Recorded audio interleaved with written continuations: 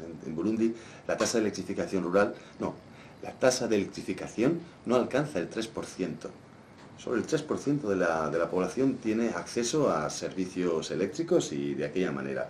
Si esto lo pasas al, al entorno rural, pues baja al 1,6% o alguna cifra así, más o menos ridícula. Entonces las limitaciones son absolutas, no tienen nada. Eh, pero incluso desde la perspectiva más, desde la administración pública, escuelas sin, sin, ningún tipo de servicio eléctrico, no sé, la cifra creo que superaba las 1.300 escuelas. O sea, todas las situaciones son así de, ¿Qué es lo que está haciendo UNICEF, UNICEF, UNICEF Burundi? Poner a disposición eh, iluminación con, una, con un, perfil extraordinariamente bajo para lo que son nuestros, nuestros estándares. Básicamente una linterna.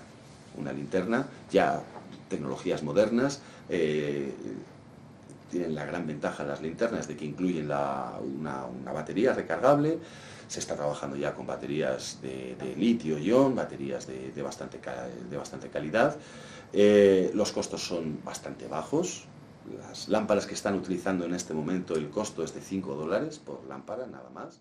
Eh, UNICEF Burundi pretende abrir la competencia entre suministradores. En este momento tienen un único suministrador con unas lámparas propias, solo válidas para su sistema, y entonces quiere abrir para que exista más competencia y mejorar la calidad.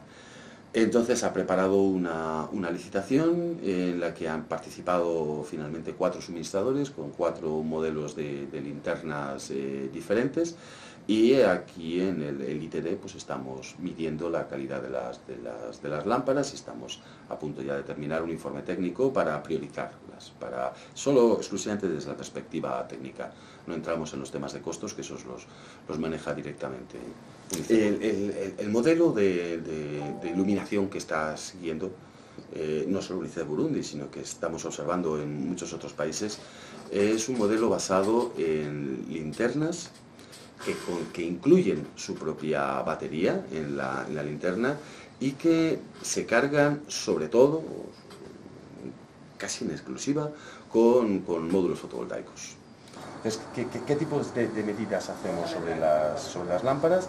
Medimos la, luminancia que tienen, medimos el tiempo en el que suministran esta luminancia, la, capacidad de almacenamiento de, las baterías eh, y luego aspectos muy, mucho más técnicos respecto al, cono de, iluminación, pues cuál es la amplitud del cono de iluminación y cómo está distribuida, distribuida la, iluminación. para las medidas de iluminación estamos contando con el apoyo del, del CIEMAT, que tiene sistemas muy sofisticados para, para la medición, y luego con un desarrollo nuestro propio que contra de lo que es usual lo que hemos preparado ha sido una, caja, una caja negra para evitar la entrada de luz exterior y además de eso con este esto que podríamos denominar tecnología apropiada eh, forrada con hueveras pintadas de negro para disminuir las reflectividades en el interior.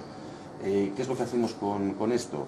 Medir la distribución de iluminación la lámpara la suspendemos en la posición indicada por la norma, 75 centímetros, y entonces desplazamos el, luxómetro para analizar cómo es la distribución de la, iluminación y la solución a una de las, pruebas que nos pide UNICEF Burundi que realicemos.